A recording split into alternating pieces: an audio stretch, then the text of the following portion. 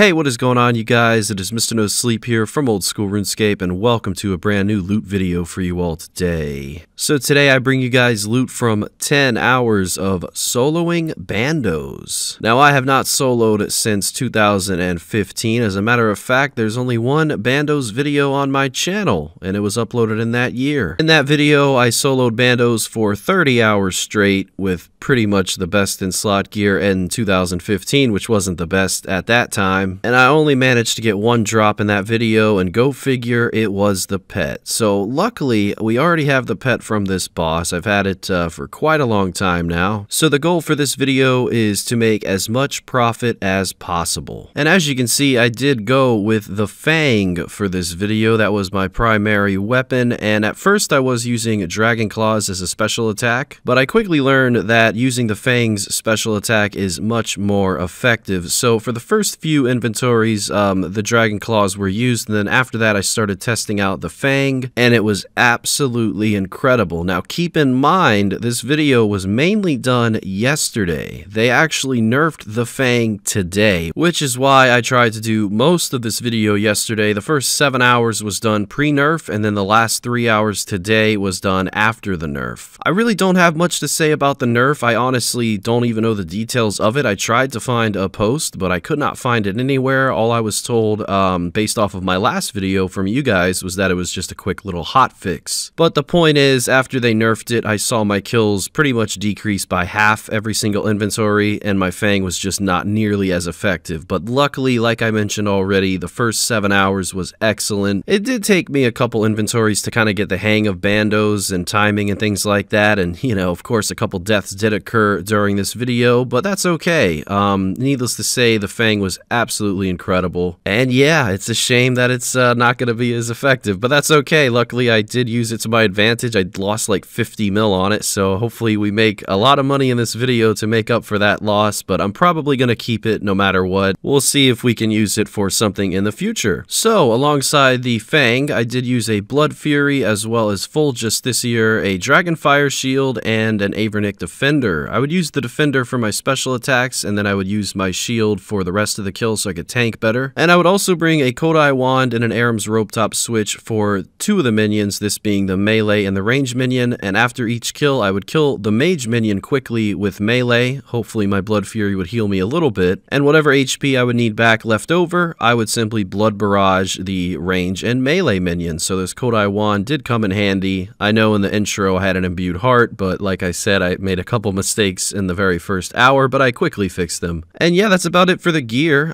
Just went with whatever the wiki said and whatever I could afford. Um, the thing about bandos is you can do this so many different ways. If you simply go on YouTube, which, you know, I imagine most of you are on it right now, and you just look up Bandos Guide 2022, or any year for that matter, you will find that people can range bandos. They can mage bandos, and they certainly can melee bandos. Whether you're soloing, trioing, duoing, or anything above that, uh, there's all sorts of different ways to kill this boss. But you guys know me, I try to do it the simple way, the way that I prefer, and I feel like this was pretty effective. Um, my best kill trip, I think I got 22 kills in one inventory. That was my best, hands down. And other than that, I was averaging about 15 to 20 kills every inventory. In the beginning, obviously, it was not this much, but uh, when I did learn and kind of get the hang of things, it, it was those numbers, and I really did enjoy it. It was almost like double the kills in inventory at Zamorak. Now, as it goes for my inventory choice for this video, it was the same every time, pretty easy to remember. We were bringing 8 Sara Brews, 5 Super Restores, and 3 Super Combats. Alongside this, I also had an Amulet switch, and that was just to get kill count. In order to get kill count, you do have to kill 40 Goblins slash Hobgoblins, and that really takes less than 5 minutes if you're quick. I was also using Blood Barrage occasionally if the Goblins were stacked on each other, and that sped it up too, so that was a pretty neat thing that I kind of figured out while doing kill count. And alongside Blood Barrage as well as Bones to Peaches, you can occasionally get chili potato drops here and shark drops, which will definitely help extend your trip. Bandos is also known for dropping super restores uh, in a quantity of three, so that'll definitely help you extend your trip as well. Uh, sometimes I would run out of prayer and prayer only, so those super restore drops really do come in handy when you get them. As you can see, we were building up this tab from all of the normal drops alongside the food drops that Bandos drops. God, I'm saying drops way too much. But yeah, a couple deaths, you know, like I mentioned before. And honestly, it's okay to die at Bandos. It's better to die here with a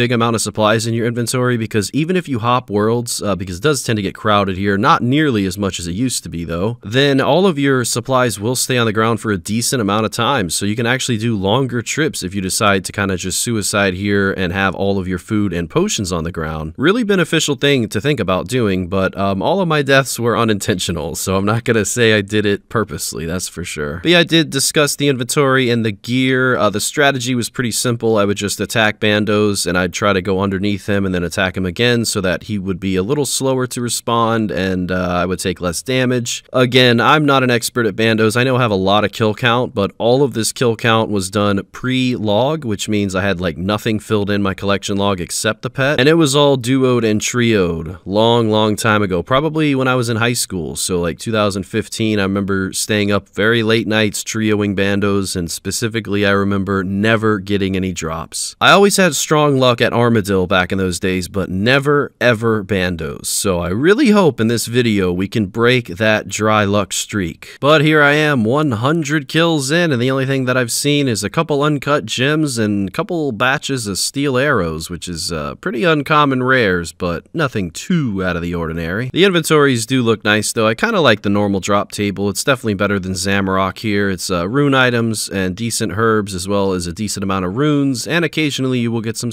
snapdragon seeds. As I mentioned before, uh, the world population wasn't too much of a problem. There would be occasions where I'd have to hop like five or six worlds to find an empty room here, but I remember it being much worse back in the day, so I'm pretty happy that it didn't take too long to find a world. And I also did not get crashed a single time. Nothing like Corporeal Beast, so that was pretty awesome. And it's always nice to see people doing bandos, especially in large groups. I saw quite a bit of that. So the one notable drop so far would be a God Sword Shard, but this was from a minion, which I guess is better to get from a minion than bandos, but you know, I wish I would have gotten like tassets or something from a minion. But I think that's like 1 in 16,000 or something insane like that, and I've never had a minion drop before. I think one time I got an Armadyl helmet from an Armadyl minion, but that's, uh, that's about it. So over 130 kills into the video, no drops so far. More uncut gems, this time a sapphire, not as good as the diamond, but I guess I will take it. Something else I'll definitely take is this beautiful Bandos chest plate, 27 mil. Looks absolutely incredible on the ground, especially with that beam right above it, and it most certainly was worth the wait. I was so happy to see this. Uh, you know, after you do so many kills, you just get a little bit dry and you kind of just stop thinking about the drops. At least that kind of happens to me. So that was very unexpected. I was so happy to receive that. It's just so much money compared to really anything. I mean, if you look at the Zamorak God Wars video, even the three spear drops I got in that doesn't even come close to this amount. So that was incredible. Over halfway done with the video. This was about 162 kills in, more than halfway done, of course. And yeah, I was just having a lot of fun with this one. Bandos, to me, soloing makes it much more entertaining. The thing I remember about trioing is just the spawn time, you know, killing bandos and killing the minions so quick and just sitting there waiting and waiting. But when you solo, you don't really have that problem because after you kill all the minions, it really just takes about 10 to 20 seconds for him to spawn, and then you got to get right back to it. So I found myself really enjoying this one. And this kill, I was not expecting to see this, but we did receive a God Sword Shard 3, this time from the boss instead of a minion. So it's not quite what I wanted to see, but I was still on a high since that chestplate drop. And I think it was uh, two or three inventories after this where I did log out for the night and came back on today, as a matter of fact, and that is when I did see the Fang was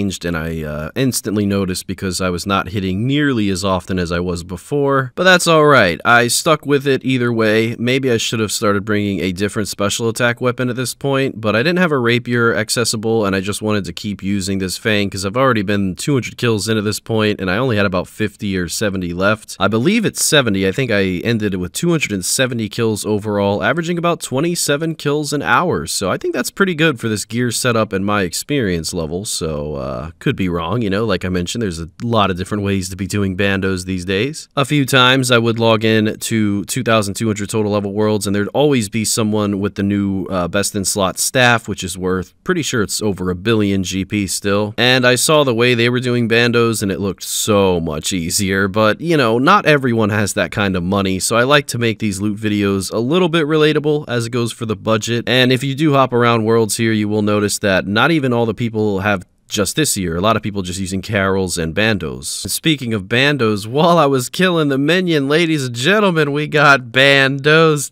sets from a minion. 21.8 million GP. If you remember in the beginning, I said I've never seen a minion drop before here, and now I guess I can't ever say that again. I was flipping out. This was a bigger reaction than the Bandos chest plate. Big shout out to Sergeant Grimspike for that. I, I just don't even know what to think. This was so incredible to see. And I promised you guys in the Tempoross video that this video was great. And this was actually before I got the Tasset drop that I said that. So now I get to say it's even greater. And I hope you guys are enjoying it. And looking at the log here, it's just showing one of everything. But we are missing the boots and the hilt. And like I mentioned, uh, Bandos hilt right now is through the roof. So I really hope I do see that. The boots I wouldn't mind for the collection log. But they are only about 200k. So not worth that much these days, but either way, seeing the collection log pop up is a great feeling. And there you go, Bandos boots coming in.